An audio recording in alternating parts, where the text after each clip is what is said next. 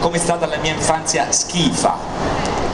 E che cosa facevano i miei genitori? E compagnia bella prima che mi arrivassi, che arrivassi io e tutte quelle baggianate alla Diet Copperfield che a me non mi va proprio di parlarne. Primo quella roba mi secca e secondo ai miei genitori gli verrebbero un paio di infarti uno, per uno se dicessi qualcosa di troppo personale sul loro conto sono tremendamente suscettibili su queste cose soprattutto mio padre, carini e tutto quanto, chi lo nega ma anche maledettamente suscettibili d'altronde non ho nessuna voglia di mettermi a raccontare tutta la mia dannata autobiografia e compagnia bella, vi racconterò soltanto le cose da matti che mi sono capitate verso Natale, prima di ridurmi così a terra da dovermene venire qui a grattarmi la pancia.